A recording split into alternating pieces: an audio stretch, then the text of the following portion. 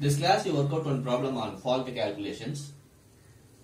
A three-phase transmission line operating 10 kV and having resistance 1 ohm and reactance 4 ohm is connected to the generating station bus bar through a 5 MVA step-up transformer having a reactance of 5 percentage.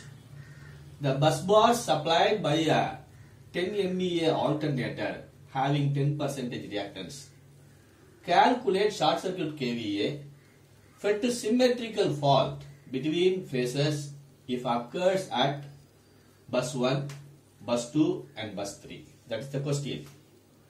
First step I have to draw the single line diagram.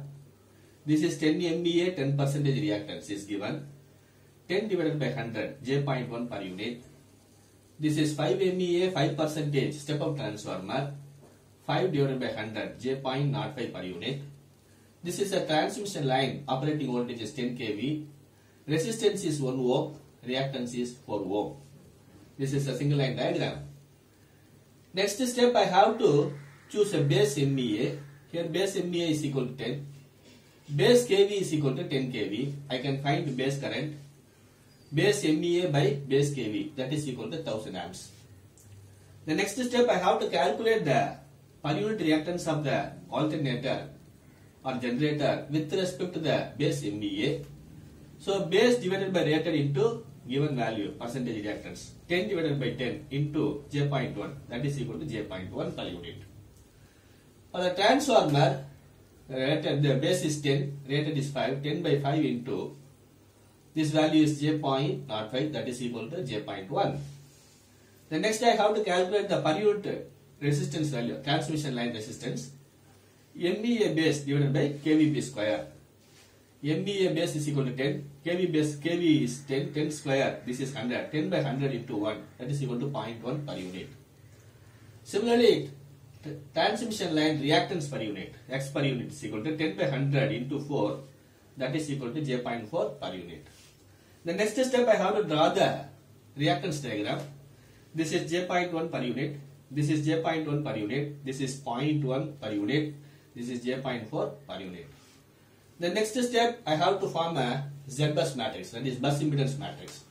Step 1 is a type 1 modification. I am connecting new bus 1 to the reference bus 0.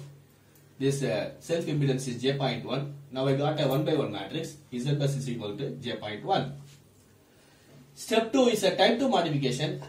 I am connecting new bus 2 to the existing bus 1. Now I got a 2 by 2 matrix. The bus impedance matrix is equal to J.1. This is J.1. This is J.1. Z22 is equal to ZS. Self impedance J.1 plus Z11 J.1 that is equal to J.2. Step 3 is a type 2 modification. I am connecting new bus 3 to the existing bus 2. Now I got a 3 by 3 matrix.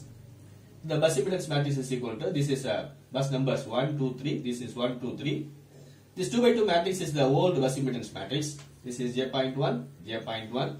This is J.1, J.2. This value is J.1, J.2. This is J.1, this is J.2. Z33 is equal to 0.1 plus J.4 plus J.2. That is equal to 0.1 plus J.6. That is Z33.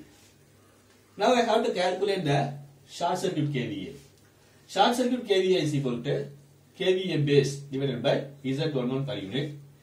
Z11 is equal to J.1. I have to calculate the impedance 0.1 square root that is equal to 0.1. Base KVA is equal to 10 into 10 power 3 divided by 0.1 that is equal to 1 lakh.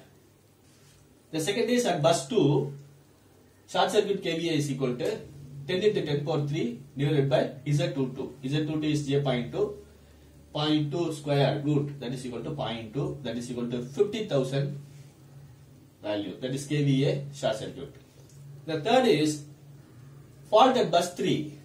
Now I have to calculate the KVA short circuit that is equal to 10 into 10 power 3 divided by Z is equal to root of R square plus X square that is 0.1 square plus 0.6 square root that is equal to 0.6083 10 into 10 power 3 divided by 0.6083 that is equal to 16,439.26.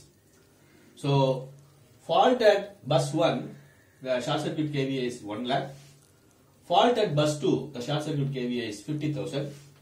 Fault at bus 3, the short circuit KVA is equal to 16,439.26. This is the this way we have to work out this problem. Thanks for listening.